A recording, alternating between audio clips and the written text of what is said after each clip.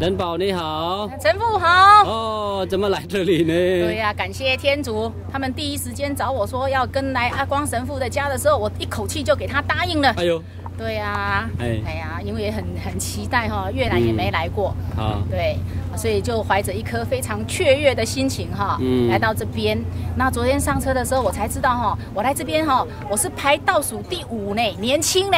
第五年轻哦，是啊，啊第五年轻呢。那我还是好像比你呃排前面一点。哦，虽然很忙啊，工作还有，呃，还有好像你们家还有一个小宝宝，对不对？是他也能够放下，呃，来这边对呀哈。那你有想念他们吗？有有有有很很想念，然后特别在祈祷的很多意象当中哈，都特别为他们祈祷哈。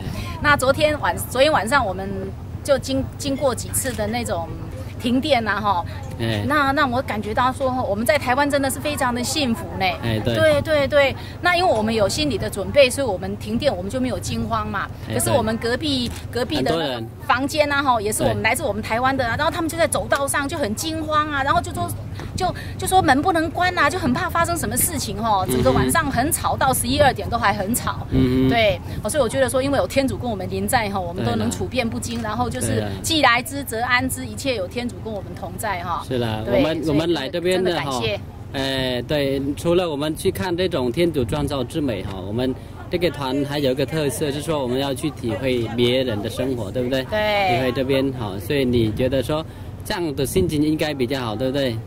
对，然后加上来这边，像昨天我打电话回去，我就跟我们家人讲说，哎，这边真的很落后。嗯可是我们落后呢，人家他们有他们自己的生活的方式。对昨天沿路上这样看哦，哈，我发现他们每个人家里面很暗，可是他们都没开灯哦。是 然后我们去参观刺绣的时候，哈，那个哎很伤眼睛的刺绣，那个他们里面的小姐灯光也都不够。对，表示他们这个生长的环境就是这样子，可是他们都很甘于、很接受这样子的环境。嗯哎，所以真的是每每每个地方的每每个地方的民族性哈对，都有它的特色。好啊，那我相信你在这几天那么短短时间哈，还在更发现更多更多那种的美丽。是，谢谢感谢天主给我这个机会。好，谢谢。